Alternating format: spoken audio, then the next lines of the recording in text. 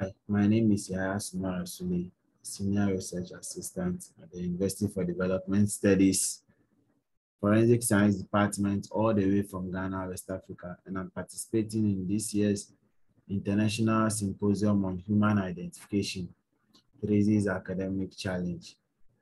And I'm making a case for policy action with regards to identification of uh, unknown and nameless dead bodies in Ghana.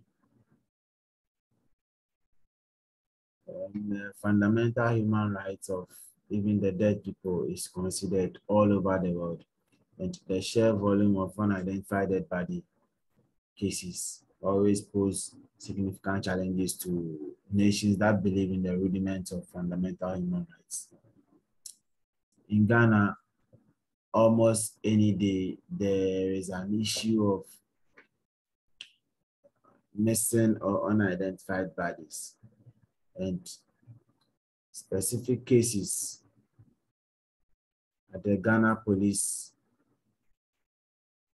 Service morgue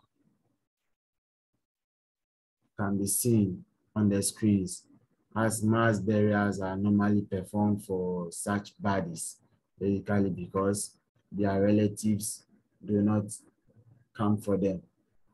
This might not be their fault, basically because they might not even know that their, their, their, their family members are dead and are the police morgue.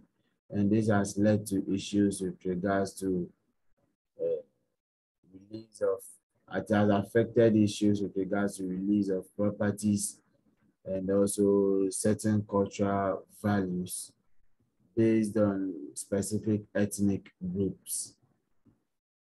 Articles that were sorted towards the preparation of these uh, manuscripts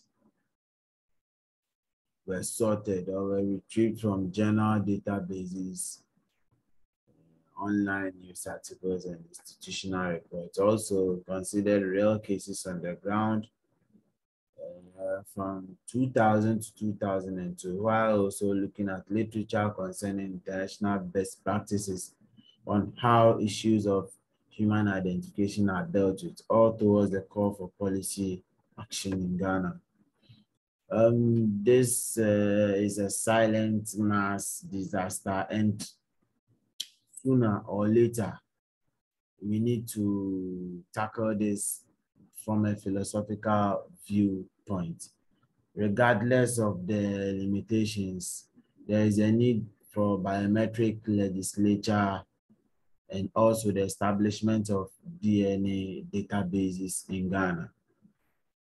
Also, uh, there should be a comprehensive roadmap for capacity building in forensic DNA technology in Ghana. And it is clear that Ghana is already late in the aspect of using forensic DNA technology. However, if all stakeholders involved come together to ensure that uh, the application of forensic technologies in identifying anonymous and missing persons is prioritized, there will be progress in this uh, area of problem solving in Ghana while we wait for evolution to take its course towards uh, improving it. Thank you.